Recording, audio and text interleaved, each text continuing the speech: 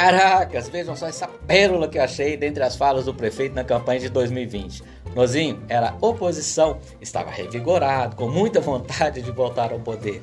Falou do hospital que não era hospital, prometeu que faria um parto se ele ganhasse e ainda prometeu colocar São Gonçalense, aqueles que estudaram, que mereciam oportunidades, para assumirem cargos de decisão, aqueles cargos mais altos. Ouçam só o que o candidato de 2020 prometeu. Com tantas opções para estudar, os sagonçalenses capacitaram ainda mais. Muitos, inclusive, que agora só precisam de oportunidades.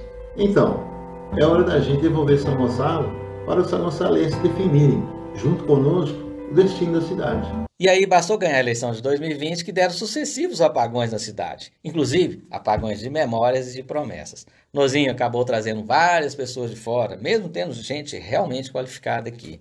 Sem menor pudor, encaixou em primeiros calores nada menos que cinco parentes, dentre eles o filho, a nora, primas, o primo, o cunhado, papagaio, periquito. Daí em diante, o que vimos foi um governo ficar congelado por três anos. Ficar ali, olhando para o tempo, pensando, matutando, passeando o exterior com o menino importado de Tabira. Será que o prefeito queria se transformar em digital influencer?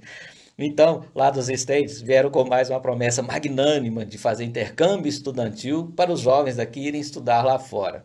O que também não rolou, né, prefeito? Aliás, quem faz intercâmbio há décadas de graça no mundo inteiro é o Clube do Rotary Internacional. Aqui em São Gonçalo já teve um Rotary que foi presidido pelo Zé Carlos Pinto Coelho.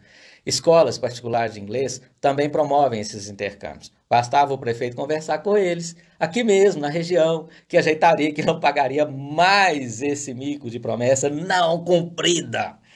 Quando a gente observa ainda o privilégio que dão para a empresa de fora, a gente percebe que Nozinho faz questão de aparecer bonito com os de fora. Ele parece ter obsessão por abrir os cofres para quem entrega menos, para quem não andou com ele e confiou nele, que está inclusive ferrando com o nome dele. Eu sou daqueles que, se fosse prefeito, obrigaria que os comissionados estudassem seus filhos aqui, que andassem de ônibus e confiassem no sistema de saúde da cidade, sem planos como o Unimed.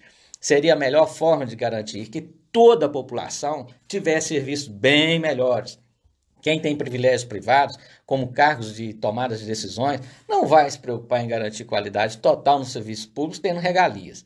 Percebe agora, prefeito? Essa julgada sua deu ruim. Transformou a tal da cidade chamada de inteligente na cidade do atraso. Quem é ou está na cidade tem muito mais compromisso, seria muito, mas muito melhor, inclusive para o seu governo. Agora, com as urnas quase sendo abertas, as perguntas que ficam é: agora que o senhor precisa do voto, vai mesmo ter coragem de pedir voto para quem o senhor sempre desdenhou e não valorizou? E com que cara que vão prometer mais alguma coisa, sendo que não cumpriram com nada que prometeram antes? É por isso que não apresentaram nem projetos para a próxima gestão? Por falta de crédito? Fala pra gente aí, prefeito.